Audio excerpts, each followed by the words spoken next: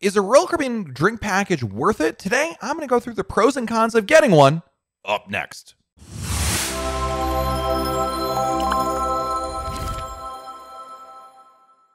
Hey everyone, it's Matt from RoyalCaribbeanBlog.com. Perhaps no additional add on to your cruise experience has been more popular than Royal Caribbean's unlimited alcohol and drink packages.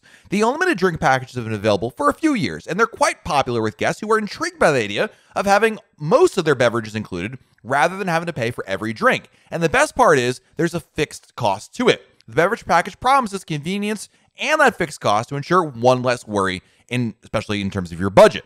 But the common question people want to know is whether or not they're really worth the cost or not. Of course, the answer depends on you and your family. But today, I wanted to break down some of the pros and cons that you should know about to decide if a drink package is worth it. So let's start off with the pros. Number one, you can drink as much as you want. By far, the best advantage of any drink package is you get to enjoy as many drinks that are included with the package with no limit. When people pay for drinks individually, Often the cost of running up a large bill enters into their minds, but drink packages assuage that concern.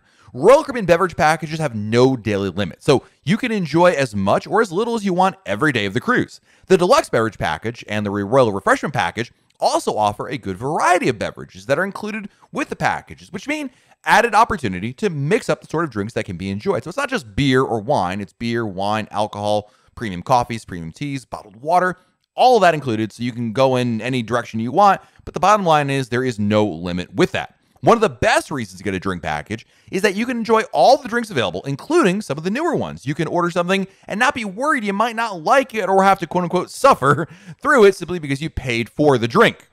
The next pro for getting the drink package is you can use it almost anywhere on board and on shore.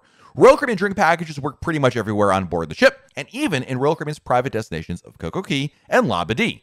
This means whether you're in the dining room, hanging by the pool, or at a specialty restaurant, you can enjoy the drink package benefits at any time. Now, there are a few exceptions to when you can use the drink packages, such as at Starbucks kiosks, room service, or the mini bar, but most guests seem to find plenty of opportunity to take advantage of the benefits. The convenience of being able to get a drink virtually anywhere on your Caribbean cruise means being able to enjoy a refreshment anytime you want it.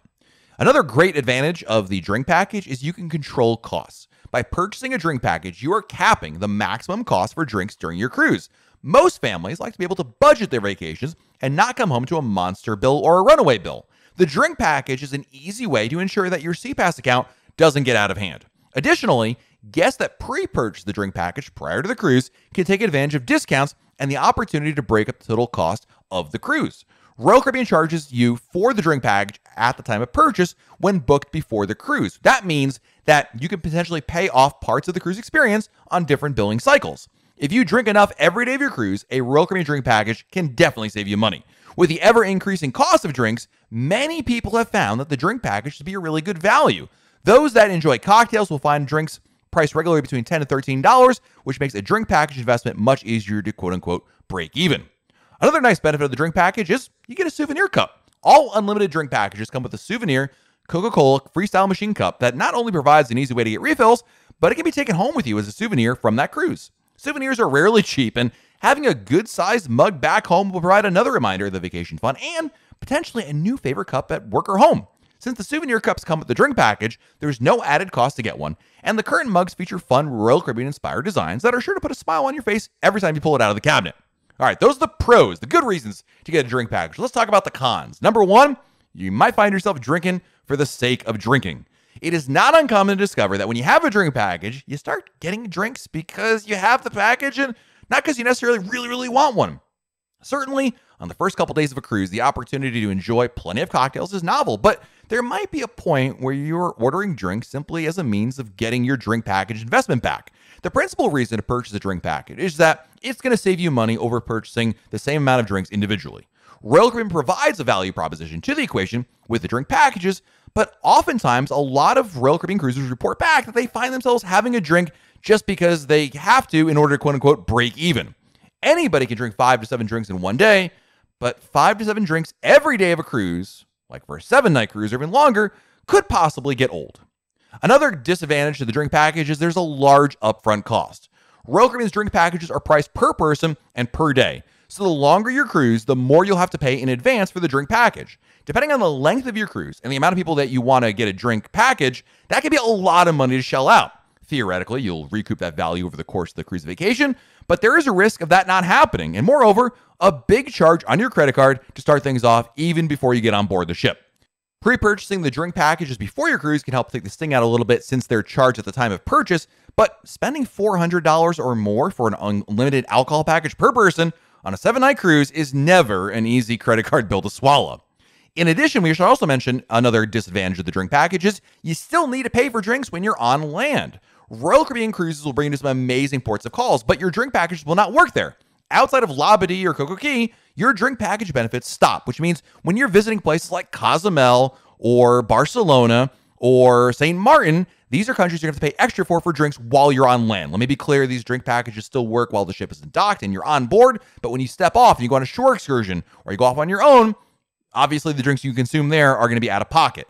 Moreover, a lot of times drinks are often cheaper to purchase while on shore than on a Royal Caribbean cruise. This is especially true of the Caribbean, not so much the case in Europe. Some people prefer to drink very little on board and then spend their money on drinks while on shore. Certainly, the itinerary you're on may dictate how practical this idea is, but drinking on land might be able to satisfy your drinking needs without the cost of a drink package.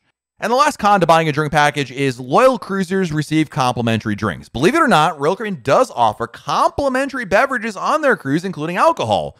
Royal Caribbean includes quite a few non alcoholic beverages with their cruise fare, like water and coffees and teas.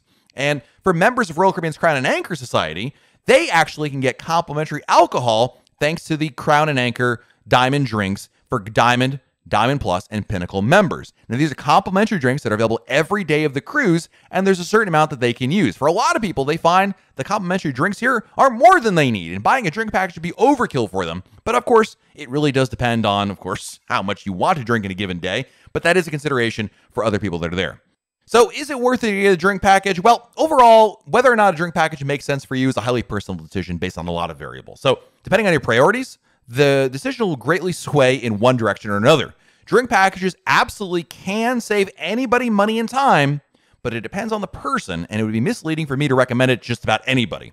The good news is discounts on drink packages bring down the cost of purchase before sailing begins, and the money off is enough to push some folks over the fence to make it a worthwhile investment. In fact, anyone considering buying a drink package should absolutely purchase it before the cruise via the Cruise Planner website because it will be cheaper than trying to purchase it on board the ship. Keep in mind that if you're unsure about purchasing a drink package, you can always opt to buy the drink package after the cruise begins. Royal Caribbean will prorate the package based on the remaining days of the cruise, which means you have a couple days to see how much you really want to drink before deciding if the package is right for you. Keeping in mind, of course, any drinks you buy before you buy the package don't count towards your drink package cost.